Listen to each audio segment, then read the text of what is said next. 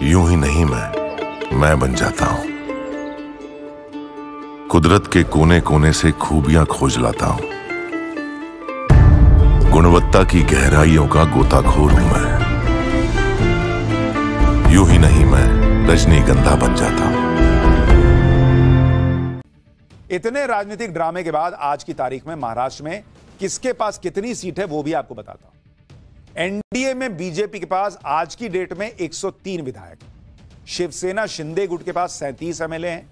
NCP Sharad Pawar के पास उनतालीस विधायक हैं और अन्य दलों के 22 विधायक हैं। यानी कुल मिलाकर एनडीए के पास आज की डेट में 201 विधायकों का नंबर है। जबकि महाविकास अघाड़ी की बात करें तो कांग्रेस के पास सैंतीस विधायक, शिवसेना यूबीटी के पास पंद्रह, एनसीपी शरद पवार के पास तेरह विधायक और अन्य दलों के दो विधायक। महाविकास अघाड़ी के पास कुल सड़सठ विधायक चुनौतियाँ सभी दलों के सामने। हाल ही में हुए लोकसभा चुनाव में महाराष्ट्र में मतदाताओं ने गजब फैसला सुनाया, जिससे बीजेपी की टेंशन बढ़ गई। अब 2024 के लोकसभा चुनाव में बीजेपी को 900 सीट मिली, उसे 14 सीट का नुकसान। आपको यह हिसाब समझाता हूँ कि लोकसभा चुनाव को अगर विधानसभा के सीटों में कन्वर्ट करें तो आज की डेट में किसका पलड़ा भारी दिखता है? तो 2024 में अगर आप देखिएगा, ये लोकसभा का आपको बता रहा हूँ। लोकसभा में बीजेपी को कितनी सीट आई थी? बीजेपी को आई थी नौ सीट, माइनस चौदह। चौदह सीट का उसको नुकसान हुआ था। शिवसेना, एक एक नाथ शिंदे वाला उसको आई थी सात सीट और एनसीपी जो अजीत पवार वाली है, उसको आई थी एक सीट। कांग्रेस को आई थी तेरह सीट।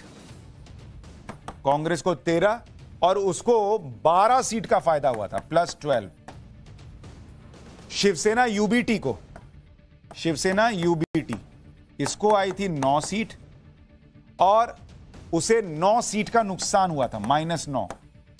और एनसीपी शरद पवार को आई थी आठ सीट आठ सीट और उसके लिए प्लस फोर था, चार सीट का फ़ायदा हुआ था।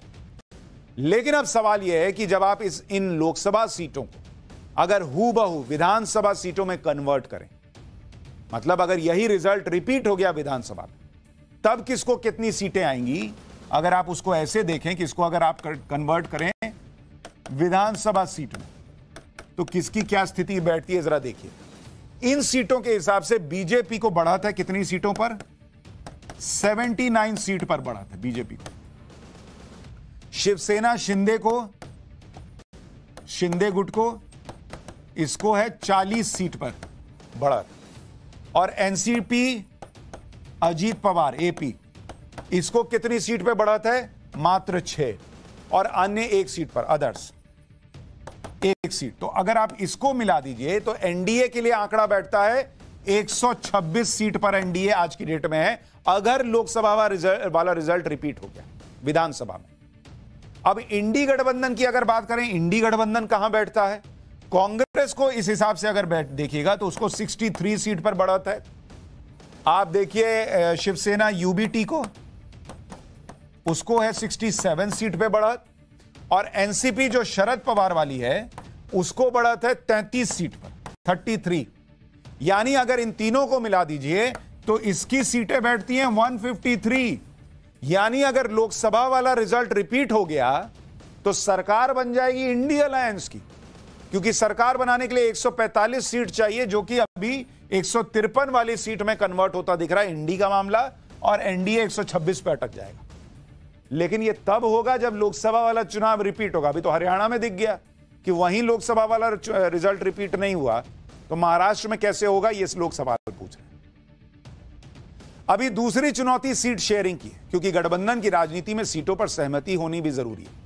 और सीट शेयरिंग के मामले में एनडीए इंडी गठबंधन से आगे निकलता दिख रहा है। सूत्रों के मुताबिक सीटों का बंटवारा एनडीए के अंदर आखिरी दौर में 90 परसेंट सीटों पर समझौता हो चुका है। बीजेपी एक सौ अट्ठावन सीटों पर चुनाव लड़ेगी महाराष्ट्र में।